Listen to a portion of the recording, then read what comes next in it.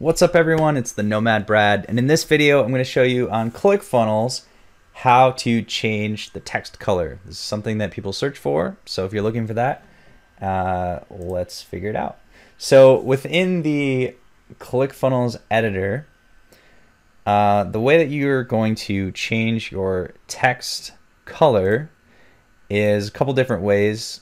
You can edit the orange box settings that's your uh, element, I believe it's called. Eh, or you can edit the whole uh, blue box. So anything contained inside the blue box. So let's look at the different uh, effects of that.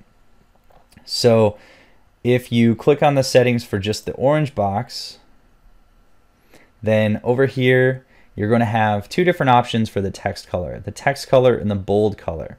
So any text that's bold is going to get the bold color in this within the box, and any text that's not bold is just going to get the regular text color. So I've unbolded this. Um, there's the bold version, there's the unbold version.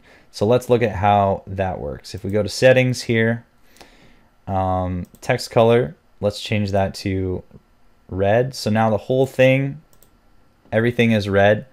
Um, the bold color, let's set that to purple or green.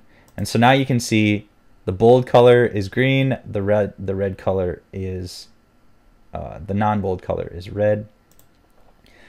Let's see uh, if we edit the blue. This is called a row, um, and that's you know everything contained in this blue thing will go by those rules. So we can look at the settings there and see you know what happens if we change the text color. So that's that's kind of how it works. Um, the the way to overwrite this would be to uh, go to the settings for that the orange box and change the text color here. And if we wanted the bold color to be something different then we would change it there so that's how to edit text colors in ClickFunnels. And if you have any more questions, feel free to drop them in the comments below and I will help you out.